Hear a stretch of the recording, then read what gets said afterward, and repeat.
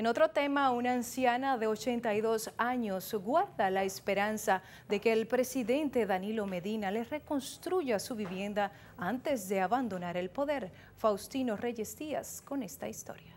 He echado como cinco viajes a irme y no me han ayudado y yo no, ya yo no vuelvo a ir porque ellos decían que ahí estaba el papel cuando yo fui la primera vez. Me dijeron, sí, aquí estaba solicitud. La casa se encuentra en franco deterioro en el barrio Camaño.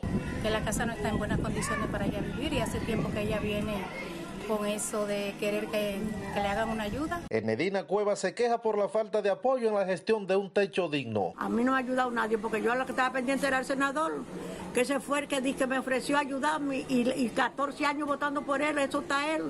Y fíjense, ya perdió y fíjense cómo me la dejó. Por otra parte, volvieron a suspender el servicio de agua que por la denuncia a través de Grupo Telemicro había sido reanudado en el sector del Camaño. Oh, todos los días estamos nosotros tomando agua para abajo. Bueno, nosotros pusimos un agua dije, con la Junta de Vecinos y fue por el gusto. En Neiva Faustino Reyes Díaz, Noticias Telemicro.